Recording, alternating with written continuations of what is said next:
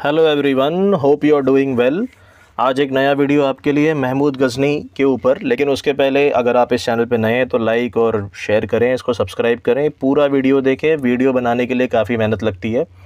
और ये आप एस्पायरेंट्स के लिए ही है। Okay informative videos which will be helpful in the U P S C M P S C net set जो भी एग्जामिनेशन है, उसी के लिए history plays an important role चलिए स्टार्ट करते हैं। वीडियो पूरा एंड तक देखना फॉर द यूज़फुल इन्फॉर्मेशन चलिए, महमूद गज़नी से थोड़ा सा आगे बढ़ने से पहले एक बैकग्राउंड जानना बहुत ही ज़्यादा इंपॉर्टेंट है। तो सबसे पहले देख लेते हैं बैकग्राउंड यहाँ पर हुआ कैसे। प्रॉफिट मोहम्मद के बाद में जो थर्ड खलीफेट है जैसे को हम लोग खलीफा कहते हैं तो वो थर्ड कैलीफेट यहाँ पर अब्बासी खलीफा होता है। ये आप एम्पायर देख रहे हो उनका, यहाँ से लेकर के यमन, ये पूरा जो ग्रीन में है, ठीक है? Under the total control of the Abbasid caliphate ये नाइन्थ सेंचुरी की बात कर रहा हूँ मैं। समथिंग अराउंड एट फिफ्टीज़ में ही ये इतना एक्सपांशन हो चुका था। उसके बाद में ये जो ऑरेंज में जो एरिया है तो that was the area which was under the suzerainty of the Abbasid मतलब जैसे वो अब्बासिद को एक अपना बड़ा रूलर मानते थे। और ऑन एन एवरेज अगर देखा जाए तो जितने भी यहाँ पर रेड दिख रहे हैं येलो दिख रहे हैं they were under the suzerainty और द डोमिनेशन और some kind of the Muslim sultanates ठीक है? Which were very much tied up with the Abbasid caliphate तो अब्बासिद खलीफेट का जो एरिया है, यहाँ से कॉकेसस से लेकर कैस्पियन सी से लेकर के यमन तक के डाउन और यहाँ पर सहारा से लेकर till the borders of the Iran तो काफ़ी अच्छा खासा इनका बड़ा एरिया था। We are mostly concern with the अगर हम आगे का जो हिस्ट्री देखते हैं तो we are mostly concern with this particular part क्योंकि महमूद गजनवी का जो एक्सपांशन है, या महमूद गजनी का जो एक्सपांशन है, ये इस पर्टिकुलर एरिया में and towards the India side में हुआ था। ठीक है? अब यहाँ पर ये अब्बासिद खलीफेट कैसे हैं कि इन्होंने अपनी जो आर्मीज़ का जो पूरा एनर्जी है तो इस डायरेक्शन में इन्होंने ये जो टर्क्स होते हैं तो इनको डिफीट करने के लिए बिकॉज़ दे वर नॉट इस्लामाइज्ड और धीरे धीरे उनका इस्लामाइजेशन प्रोसेस हुआ। अगर ये यहाँ पर करते तो हो सकता है कि कुछ टाइम में यहाँ पर अटैक करके वो लोग इंडिया की तरफ़ पहुँच सकते थे बिकॉज़ सेवन वन वन और seven one two A D Muhammad bin Qasim का अटैक इंडिया के ऊपर हो चुका था तो it was a breathing period for the India लेकिन इस टाइम पर जो इंडिया के अंदर जो राजपूत और भी जो दूसरे रूलर्स थे तो वो आपस में कैसा है कि उनके बीच में बहुत ही ज़्यादा मतभेद था और वो लोग एकजुट नहीं हो पाए।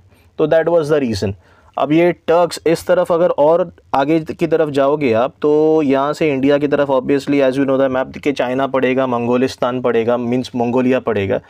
तो वहाँ के जो टर्क्स थे, एक इनका एक बहुत ही बड़ा एक गुरु है, जिसको ये लोग कहते हैं कि लाइक वहाँ से वो लोग लेने चपना मानते हैं ओगस टर्क या तो ओगस खान ठीक है? तो वहाँ से चाइना, मंगोलिया, ये जितने भी जो ये वहाँ के जो रहीवासी थे तो ये ट्रांसऑक्सियाना तक धीरे धीरे ये लोग पहुँच चुके थे। दिस पर्टिकुलर एरिया मैं बताऊँगा ट्रांसऑक्सियाना में कौन से कौन से रीजन आते हैं। तो वो मंगोलिया, चाइना से जो टर्क्स जो थे तो धीरे धीरे ये लोग इस तरफ़ मूव कर रहे थे, ठीक है? हाँ। तो ये इस तरफ़ मूवमेंट के बाद में तो ऑब्वियसली यहाँ पर जब मूवमेंट होगा इनका तो मुस्लिम आर्मी से इनकी फ़ाइट होगी। अब यहाँ के जो लोग होते थे ना तो ईरानियंस ये ईरान पड़ेगा यहाँ पर। ये जो मैं मार्क कर रहा हूँ ना, खुरासान, ये सब जितने भी हैं, सीस्तान तो अफ़गानिस्तान में पड़ेगा, लेकिन यह खुरासान है, पर्शिया ये जो देख रहे हो आप, आगे और भी मैप देखेंगे हम लोग। तो दिस इज़ पर्टिकुलर ईरान। तो वहाँ के लोग जो वहाँ से मंगोलिया, चाइना, सिंकियांग प्रोविंस से जो आए थे तो ये एक ट्रांजिशनल जोन बन चुका था। कौन सा ये? ट्रांसऑक्सियाना। तो इन पब्लिक को है ना मीन्स ये लोगों को as a slave palace guard mercenaries ये लोगों ने अपने यहाँ पे रखा and they converted them to Islam ऐसे हो गया। और वो जो टर्किश मिलिट्री है, वो जो वहाँ से आने वाले लोग हैं, वो इतने ज़्यादा लाइक हायर ग्रेड्स पर पहुँच जाते हैं कि धीरे धीरे वो लोगों ने अपनी एक इमेज बना ली। और वही लोग हैं जो आगे आने वाले टाइम पर जो है, वो बहुत ही ज़्यादा विस्तार करते हैं ऑफ़ द इस्लामिक लैंड्स ठीक है? अब यहाँ पर कैसा है कि टर्किश ने जो इमिग्रेंट्स थे, वो लोगों ने अपने आप को इस्लामाइज्ड किया और वो लोगों ने अपने आप को पर्शियन कल्चर में भी डाल लिया, क्योंकि पर्शियन एक कल्चर ऐसा था वो टाइम पे ईरान का कल्चर के that was very much associated means एक अरेबियन कल्चर था और एक पर्शियन कल्चर था। तो ये दो कल्चर को बहुत ही ज़्यादा लोग अपनाते थे, ऐसा था। तो पर्शियन के जो मैनर्स थे वो बहुत ही ज़्यादा फ़ेमस थे और अरेबियन के जो मैनर्स थे उस एरिया में पर्टिकुलर तो एक जो बड़ा कल्चर होता है तो एक छोटे कल्चर के ऊपर ऑब्वियसली वो थोड़ा सा हावी हो जाता है। मोस्ट पावरफुल डायनेस्टी वहाँ पर जो थी तो दैट वाज दी अब्बासिद और उसके बाद में फिर एक समानिद तो समानित समानित के बाद में गजनविद मैं बताऊँगा समानित कौन सा एरिया है, ठीक है? चलिए, आगे बढ़ते हैं अभी। अब ये समानित कौन है? तो समानित एक सुन्नी पर्शियन एम्पायर है, जो खोरासान और ट्रांसऑक्सियाना नाम का जो रीजन है तो वहाँ पर वो एमर्ज होती है। अब यहाँ पे देख लो, ये बैक्टीरिया ये तो अफ़गानिस्तान में पड़ेगा। मैं जैसे आपको बता रहा था कि ट्रांसऑक्सियाना तो ट्रांसऑक्सियाना कहाँ पर पड़ेगा? लेट सी ये समरकंद बुखारा तो ये समरकंद उस तरफ़ पड़ता है, बुखारा, जहाँ जहाँ पे Uzbekistan, Babur came to India तो ये उज़्बेकिस्तान हो गया। ये आपका हो जाता है कज़ाकिस्तान, ये हो जाता है तजिकिस्तान, किर्गिस्तान किर्गिस्तान, तजिकिस्तान, उसके बाद में अफ़गानिस्तान, ठीक है? तो यहाँ पर ये जो एरियाज़ है, ये वाले जो एरियाज़ है तो it is known as the Transoxiana और यहाँ पर जो लोग हैं ना, वो कहाँ से आ रहे थे? From the Mongolia side from the Chinese side तो ये ट्रांसऑक्सियाना साइड एक एक ट्रांजिशनल जोन था। यहाँ पर एक इंटरमिंगलिंग ऑफ़ द कल्चर्स तो ये पॉइंट बहुत ही इंपॉर्टेंट हो जाता है। और यहाँ से धीरे धीरे जो होड्स है मतलब जो इनकी सेना वगैरह है तो ऐसे रास्ते करके इंडिया की तरफ़ क्रूज़ होती, ऐसे रास्ते करके यहाँ पर जाती, क्योंकि ये पासेस ही इनके लिए रास्ता खोलते हैं। ऐसे कोई सी रूट वगैरह तो वहाँ पर था नहीं। सी रूट से आने वाले तो ये ब्रिटिशर्स ही थे, और ऑब्वियसली वहाँ पे सी रूट ऐसे कोई था नहीं तो ये लैंड रूट से ही आते थे। And it was covered with the highly mountains जैसे नेपाल को तो आप देखोगे और हिमालयाज तो वहाँ पर एक बाउंड्री बैरियर पड़ता ही है। तो एक डिफरेंट डिफरेंट पासेस से बल्कि ये मुस्लिम जो इन्वेजन्स हुआ है, वो ही नहीं, बल्कि जो पहले आर्यन इन्वेजन्स भी हुआ है और भी जो पोस्ट मॉरियन टाइम के और भी जितने भी इन्वेजन्स हुए they came from this particular passes only ठीक है? तो ये समानित का ये जितना भी ब्लू एरिया आपको दिख रहा है देवर ऑफ़ द समानित अब समानित कौन है? अब्बासिद कैलिफेट के बाद में ये एरिया में अपना जो राजपाट कायम करने वाले देवर दी समानित। तो एक ये सुन्नी पर्शियन एम्पायर था, खोरासान और ट्रांसऑक्सियाना। खोरासान आप बोलोगे तो इस तरफ़ ईरान और ये ट्रांसऑक्सियाना इस तरफ़ तो ईरान, इसके अंडर ऐसे और भी कंट्रीज़ थी। देखो, मैंने यहाँ पे मेंशन भी किया है कि ट्रांसऑक्सियाना कितनी कंट्रीज़ तो मॉडर्न फाइव कंट्रीज़ को लेकर के चलता है। उज़्बेकिस्तान अच्छा खासा आता है, इसके अंदर western Tajikistan, western Kyrgyzstan. North western Turkmenistan, southern Kazakhstan. तो ये फाइव कंट्रीज़ को मिला करके ट्रांसऑक्सियाना। पहले ऐसे कोई नेशनलिज्म नहीं था तो ऐसे कोई कंट्रीज़ नहीं थी। जो जहाँ पर भी पहुँचता है, उसका एरिया उतना हो जाता है। अब यहाँ पर, अभी आप सोच रहे होगे कि गजनविद स्टार्ट कभी होगा तो ये एक बैकग्राउंड दे रहा हूँ मैं। बस अभी गजनविद स्टार्ट होने वाला है। समानिद एम्पायर ने 819 से ट्रिपल नाइन लगभग ऐसे हम लोग मान के चलते हैं, लेकिन 962 में ही एक जो गवर्नर होता है समानित का जिसका नाम होता है अलप्तगीन तो अलप्तगीन एक टर्किश स्लेव है and he was the officer of the Samanid empire मतलब समानिद जो रूलर है तो उसका वो गवर्नर था। उसने अपने आप को वहाँ से अलग किया and he carved out a separate principality separate principality बोलोगे तो उन्होंने एक अपना अलग से एक छोटा मोटा एक प्रिंसिपैलिटी निकाल लिया and he started ruling over from there और गजनविद एम्पायर का जो फाउंडेशन है तो उन्होंने किया था, ऐसे कहा कहा जाता है। लाइक सुल्तान सॉरी समानित गुलाम अलप्तगीन ठीक है तो ही वॉज़ दिस स्लेव और खुरासान इन्होंने यहाँ से जीत लिया था समानित से। चलिए, आगे और देखते हैं कि नेक्स्ट स्लाइड में क्या है। गजनविज एन इंट्रो तो Alptigin was the slave Alptigin के बाद में डायरेक्टली महमूद गजनी का पीरियड स्टार्ट नहीं होता है। महमूद गजनी भी लाइक उनका पीरियड स्टार्ट नहीं होता है। अलप्तगीन के बाद में Sebuktigin. Sebuktigin was the father of the Mahmud Ghazni. और महमूद गजनवी का एक भाई भी था, जिसका नाम था इस्माइल। सुबुक्तगीन कैसा है कि सुबुक्तगीन ने अपने बेटे इस्माइल को थ्रोन दिया था but Mahmud Ghaznavi was very much energetic और उनको ये लगा कि लाइक मेरा जो यहाँ पर जो शहर है, कहीं ना कहीं प्रॉब्लम में फंस जाएगा। अब इतना लिनेज डिस्कस नहीं करेंगे। तो Ghaznavi became like Mahmud became the first sultan. ऐसे कहा जाता है कि इनको ऐसा फ़र्स्ट टाइटल मिला था सुल्तान का into the medieval world okay Mahmud Ghazni at the end of the ninth century Khorasan Transoxiana parts of Iran were being ruled by Samanids who were Iranian by descent जैसे मैंने बताया था आपको।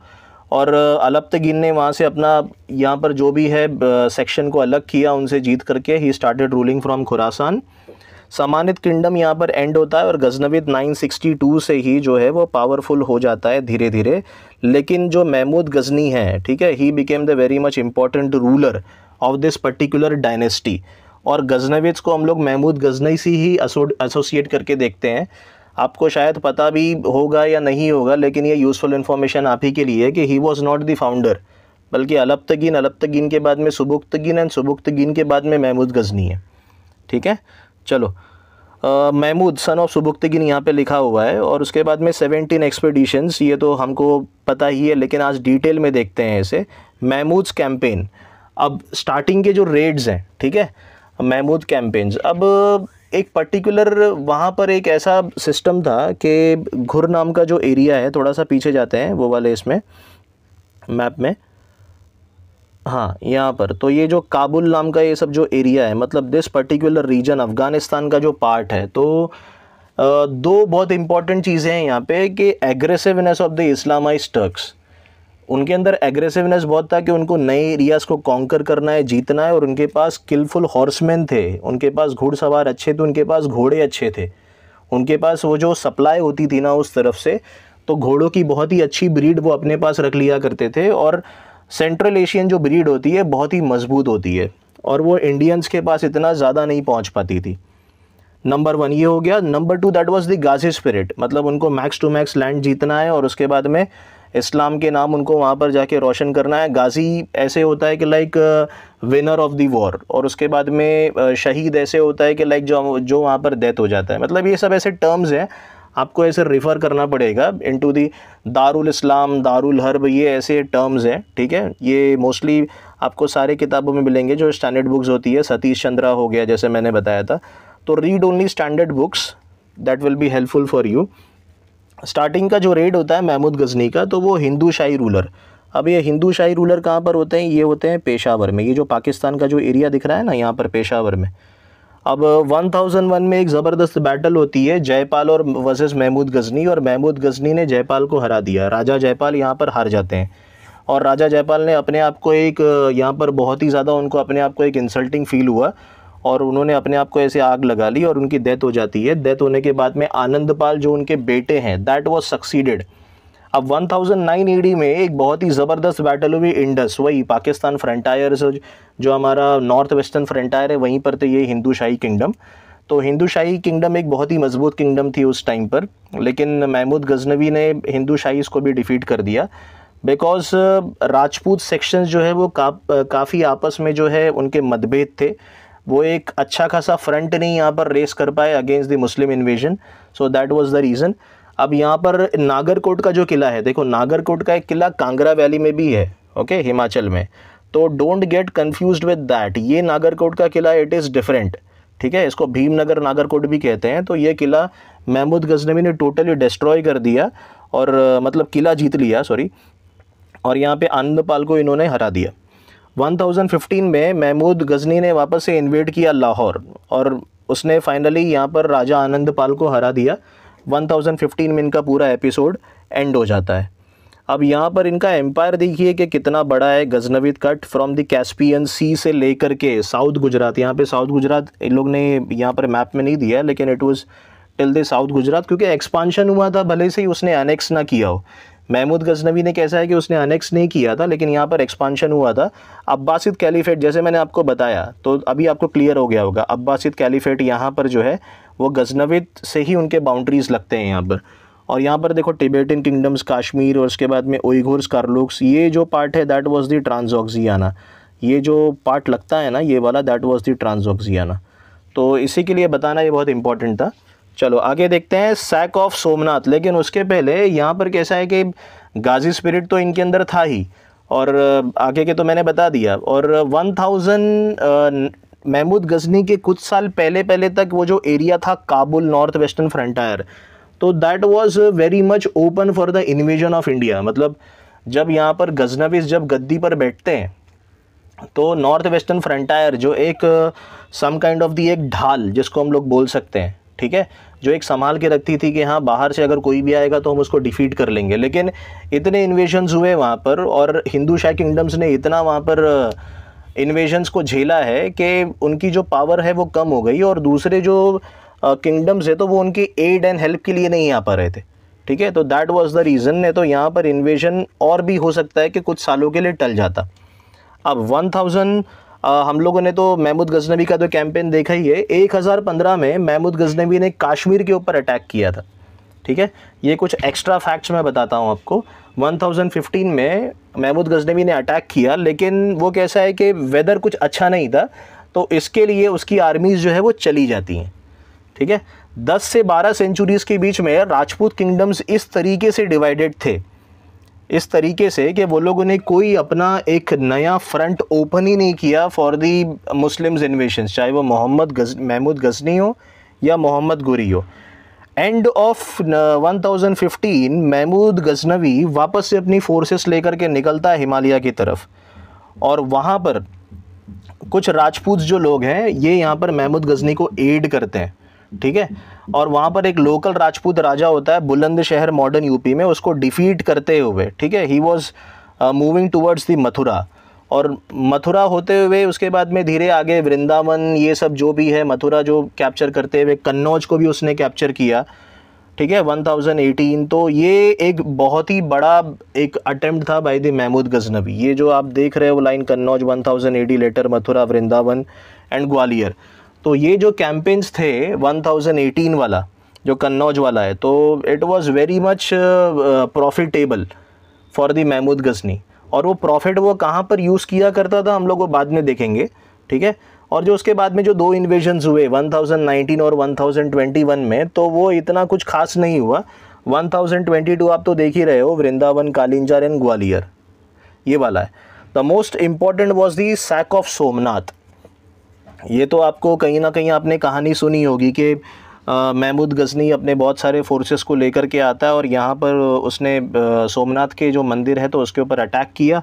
क्योंकि वहाँ पर ऐसे पता चला था कि बहुत सारा गोल्ड है और शिवलिंगम को भी उसने ब्रेक कर दिया। और ऐसे according to facts two million dollars Somnath expedition से यहाँ पर महमूद गजनवी को बेनिफिट होता है।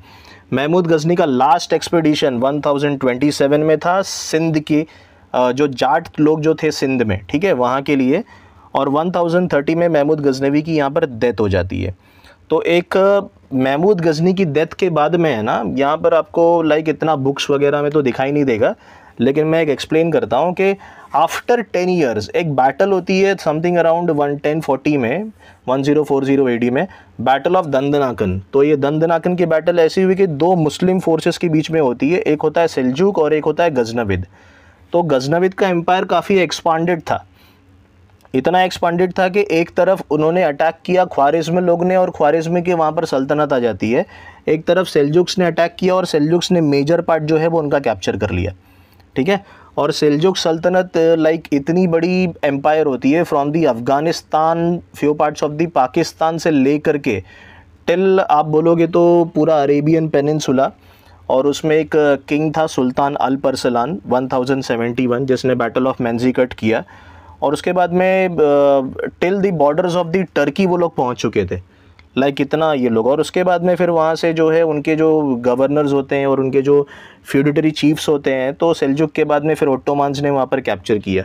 तो ये कुछ ऐसा चलता है, जो वैक्यूम का जो पीरियड है। We are very much concern with the Mahmud Ghazni only चलो as a pattern of arts and literature तो महमूद ने यहाँ पर अपने आप को बताया कि भाई बुद्ध शिकन जैसे इमेजेस वगैरह को मूर्ति, भंजक मूर्ति तोड़ने वाला। और उस टाइम पर के बहुत बड़े हिस्टोरियन जिसको हम लोग अलबेरूनी कहते हैं जिन्होंने किताबुल हिंद लिखी। तो ऐसे नहीं कि एक तरीके से जैसे हिस्टोरियंस ने इसे पोर्ट्रे किया है। We are into the academics तो एक बैलेंस व्यू होना चाहिए अपना। बैलेंस व्यू यहाँ पर ऐसा है कि वो एक डिफरेंट पार्ट था महमूद गजनवी का कि हाँ ही वॉज़ एन इन्वेडर लेकिन यहाँ पे ही was also the man of arts and literature क्योंकि बड़े बड़े उसके कोर्ट में है ना, बंदे थे like Alberuni, Firdausi, Utbi, Farrukhi और इन्होंने महमूद गजनी की कोर्ट की शान बढ़ा दी। फिरदौसी ने शाहनामा लिखा वेरी मच फ़ेमस बुक ठीक है? ये ऐसे फैक्ट्स भी आप इसको देख सकते हो। ये फैक्ट्स वगैरह एग्ज़ाम में डायरेक्टली क्वेश्चन पूछ सकता है कि फिरदौसी ने क्या लिखा या शाहनामा किसने लिखा है। अलबेरूनी कंपोज्ड तहकीक हिंद और किताबुल हिंद रियलिटी ऑफ़ हिंदुस्तान, ठीक है? तो अलबेरूनी का ये किताबुल हिंद बहुत इंपॉर्टेंट है। तहकीक हिंद अलबेरूनीज़ इंडिया भी कहा जाता है उसको। उदबी तारीख यमनी। तो ऐसे आपको मैच द कॉलम में भी पूछ सकता है मे बी या तो डायरेक्टली क्वेश्चन आ सकते हैं। चलो some facts related to Mahmud Ghazni great empire builder जैसे हम लोग ने देखा कि उसके एम्पायर के अंदर ही आज के जो मॉडर्न चार पाँच कंट्रीज़ है तो वो समा जाएँगी पूरी। Use of the optimum resources optimum resources like ऐसे नहीं कि सिर्फ़ नंबर ऑफ़ सोल्जर्स ही दिखाना है। आपके सोल्जर्स भी मज़बूत होने चाहिए। सामने वाला पर्सन जो है वो आपके एक सोल्जर जो है, वो सामने वाले के दस के बराबर होना चाहिए। ऐसी आपकी ट्रेनिंग होना चाहिए। वो हमारे यहाँ पर इंडियंस के पास में वो लैक था। स्विफ्ट केवलरी मूवमेंट ये कैसे होता है कि उस टाइम पर एक ट्रेंड चल रहा था सेंट्रल एशिया में। हॉर्समैन वाला केवलरी वाला, कि जितने मज़बूत अच्छे घोड़े होंगे, जितने अच्छे घुड़सवार होंगे और जितनी अच्छी आपकी केवलरी होगी तो आप एक डैश से मतलब डैश मतलब एक आप, एक वॉरफेयर से सामने वाला एरिया आप कनेक्ट कर कॉन्कर कर सकते हो, जीत सकते हो। और ये चीज़ है ना हमारे यहाँ पे लैक हो रही थी इंडिया में। इंडिया में अभी भी बड़े बड़े एलिफेंट्स चल रहे थे। तो वो स्लो मूविंग फोर्सेस थी। इन्फेंट्री चल रही थी। वो स्लो मूविंग फोर्सेस थी। और यहाँ पर इनकी जो फोर्सेस थी that was very much swift वो एक ही झटके में जाते और डीप इंटीरियर्स तक उनका जो रियर है फ्लैंक है लाइक आगे और पीछे जितने का भी जो हिस्सा है, जो उनकी एनिमीज़ हैं तो उन सभी को मार करके वो लोग ख़त्म कर देते। ऐसा। तो ये पॉइंट हम लोगों ने यहाँ पर उसको एक्सेप्ट नहीं किया काफ़ी टाइम तक। Far sighted vision to make Ghazni as the rival to Baghdad. अब यहाँ पर बगदाद जो एब्बासिद कैलीफेट है तो उसके टाइम पर तो बगदाद के अंदर तो चार चाँद लग गए। आगे और भी Baghdad became very much famous अब यहाँ पर महमूद गजनी को अपना जो गजनी है, वो बहुत ही इम्पोर्टेंट कैपिटल बनाना था। तो जितना भी यहाँ से जो धन दौलत लेकर जाया करता था महमूद गजनी तो उसने अपने यहाँ पर बिल्डिंग्स आर्किटेक्चर वहाँ पर जो वेलफेयर एक्टिविटीज़ ठीक है? तो ये सारी चीज़ों में उसने लगा दिया। And he was also a lover of justice मतलब न्याय के मामले में he was very much good ठीक है? लीडरशिप क्वालिटीज़ ऑब्वियसली अब Uh, अगर देखोगे महमूद गौरी uh, महमूद गसनी एंड मोहम्मद गौरी अगर दो ऐसे कंपैरिजन भी होते हैं ऐसे टेक्स्ट बुक्स में और ऐसे स्टैंडर्ड बुक्स में मैंने देखा भी है कंपैरिजन लीडरशिप क्वालिटीज़ की देखा जाए तो लीडरशिप की क्वालिटीज़ दोनों के दोनों अलग है। लाइक like, महमूद गजनवी एक ऐसा कमांडर था एक ऐसी डेरिंग स्पिरिट थी उसके अंदर कि उसने ऐसे कोई भी जंग यहाँ पर नहीं हारा। जैसे मैंने 1015 का बताया तो it was due to inclement weather weather इतना ठीक नहीं था। और अदरवाइज़ उसने अपनी सेंट्रल एशिया में भी he was very much powerful और यहाँ पर इंडिया की तरफ़ भी he was very much powerful India की तरफ़ से महमूद गजनवी ने इस तरीके से अटैक किया कि धीरे धीरे उसने ऐसे अटैक किया कि जो राजा को लाइक बुंदेलखंड के जो चंडेलास थे तो उनका एक्सपांशन काफ़ी हद तक थम जाता है। देन ही मूव टूवर्ड्स ही सोमनाथ तो मतलब उसने स्टेप बाय स्टेप सारे राजाओं के ऊपर एक एक साथ उसने अटैक नहीं किया। और जो राजपूत, जो किंगडम्स थे, वो एक दूसरे का तमाशा देख रहे थे। Like they never came to their aid अगर वो एड के लिए आते तो हो सकता है कि situation would have been different तो यहाँ पे ये one of the most important reason है। Leadership qualities like leadership qualities ही ऐसी है जो लीडर uh, जो एक एक ऐसा होता है कि अगर बेस्ट uh, लीडर अगर होगा तो वो अपनी आर्मीज़ को बहुत दूर तक ले जा सकता है वो अपने एसोसिएट्स को वो अपने फॉलोवर्स को सबॉर्डिनेट्स को बहुत दूर तक ले जा सकता है। अगर लीडर अगर अच्छा नहीं होगा तो उसकी सारी जो प्रजा है सारे जो सबॉर्डिनेट्स हैं एसोसिएट्स है कोई काम के नहीं होंगे। ठीक है? तो he was having very good leadership qualities चलिए तो यहाँ पर हम लोग महमूद गजनबी का जो टॉपिक है, गजनी का टॉपिक है, वो ख़त्म करते हैं। आगे और भी दूसरे वीडियोस के साथ में मिलेंगे। होपफुली आपको ये वीडियो पसंद आया होगा। जय हिंद।